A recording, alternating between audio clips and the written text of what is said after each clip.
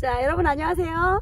자, 오늘은 제가 저희 올케 언니네, 오빠네가, 음, 묵나물을 해서, 보, 묵나물 할 때 되면은, 그때가 언제지? 그, 보름인가? 보름에 그 오색 나무를 해서 파는데, 막 5,000세트, 4,000세트씩 막 나가거든요. 유기농 마트 같은데. 그런데, 언니가 망초, 이 무- 망초를 뜯을 새가 없다 그래서 제가 한쌤한테 부탁을 했더니 한쌤이 이 묵밭을 잘 아신다고 하더라고요. 묵밭. 여기가 옛날에 오이밭이었대요. 근데 지금은 이제 묵밭으로 있는데 이 묵밭에 망초가 많다고 그래가지고 제가 달려왔습니다. 저희 남편하고 한생도 저쪽에서 지금 하고 계시는데 어, 한생도 늘 저희들한테 진짜 이게 진짜 가족인 것 같아요. 늘 이런 거 같이 해주시려고 그러고. 근데 자 보세요. 제가 구별해 드릴 게 있어요, 여러분. 자, 요거 요 망초랑 자, 요거 요 망초랑 요거는 개망초거든요, 여러분. 개망초는 좀 잎이 넓고 키가 커요. 구별이 쉬워요. 이렇게 넓- 높게 올라와 있거든요. 자, 보시면 여기서도 제가 망초를 한번 가볼게요. 한번 따라가 보실래요? 네, 요런 거. 요렇게. 요게, 요게, 요게, 마- 이게 개망초고, 요게 망초예요, 여러분. 요런 게. 요런 것들은 얇고 털이 많아요. 여기서도 구별 바로 되죠, 이렇게. 보세요. 자, 요거, 요거랑 요거랑 비교를 해볼게요, 한번. 자. 요거는 이렇게. 향이 훨씬 강해요, 이게. 그리고 요거는 이렇게 다르죠, 여러분. 망초는, 개망초는. 그런데 많은 분들이 염증에는 위염, 장염, 비염, 간염, 염증에는 최고라고 제가 이거 옛날부터 제일 먼저 말씀드렸는데 이거가 이 맛에 빠지면 어떤 분들이 이 개망초를 안 뜯어요. 요때 되면 묵나물 할 때 이 망초만 뜯는 분이 계세요. 향이 있어서 어떤 분들은 싫다고 그러는데 효능은 이게 더 좋다는 분들이 더 많고요. 진짜 향, 아삭아삭하는 식감도 더 좋아요. 얘, 뭐- 얘가 더 좋거든요. 근데 이 맛, 이 맛에 길들이신 분들은 또 이거는 안 뜯어가시는 분들이 계시거든요. 근데 저희는 두 가지 다 한꺼번에 쓰면서 언니, 올케 언니를 이제 갖다 주어서 이거를, 어, 망초를 해서 여러 가지 장아찌로도 하고, 묵나물로도 하고, 이렇게 할 수 있게끔 이렇게 빈다. 지금은 이렇게 비면 돼요, 여러분. 이렇게 비가 온 자리라서 이렇게 비면 되거든요. 이렇게 벼서 이렇게 비면 돼요. 다 이거는 뭐 풀이 아니야. 그냥 비면 돼요. 가서 이렇게.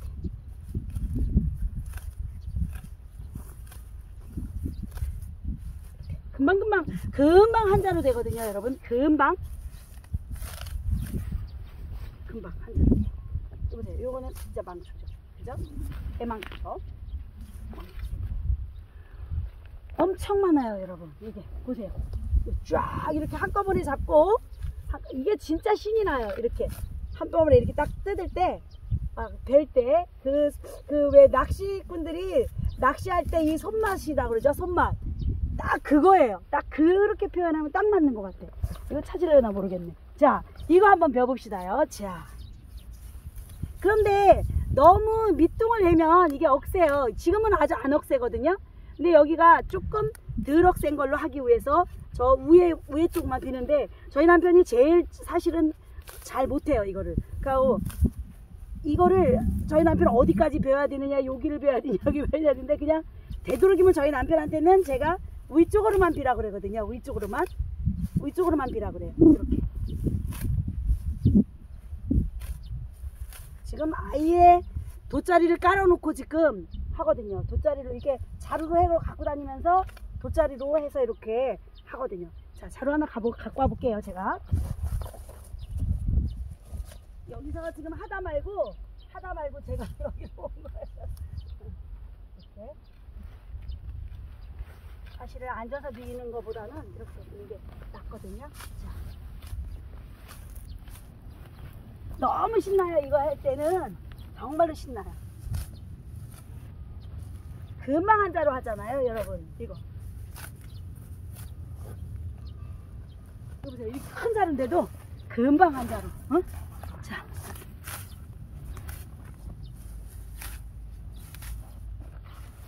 이런 것들은 여기에 이런 게 붙어 있잖아요. 이런 게 별남 별꽃 같은 게 있잖아요. 그러면 이렇게 해놓으면 요거는 딱 이렇게 하나를 잡을 수가 있어요. 이런 거 이렇게 빼고. 됐어.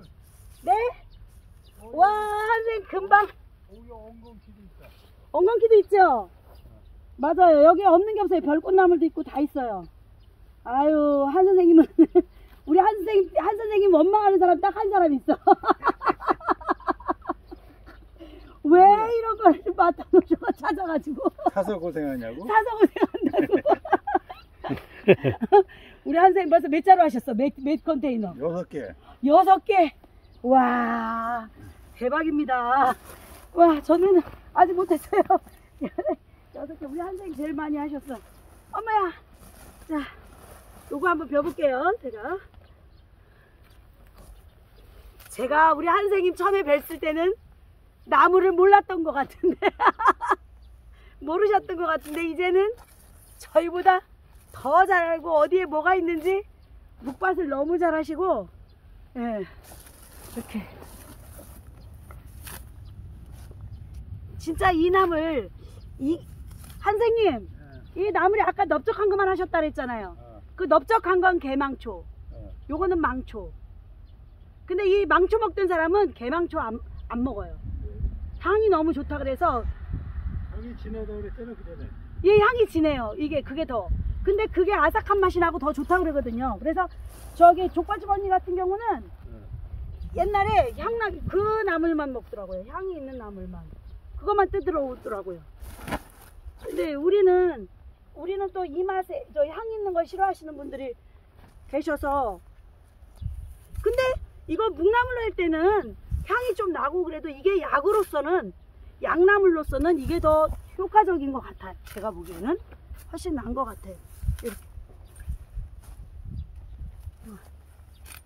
와, 여러분 하시고 싶으시죠?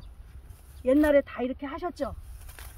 근데 지금 불편하신 분들이 지금 못 하시는 분들이 너무 많으셔서 어, 이건 너무 길다.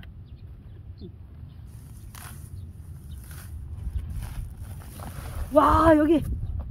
와 이거 봐. 와우.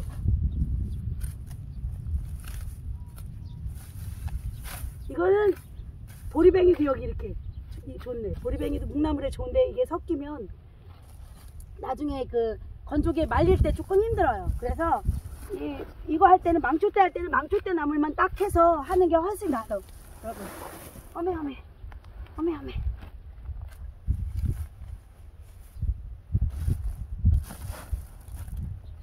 이래서 김 선생이랑 같이 이런 거 하고 싶다고 그러셨죠, 여러분.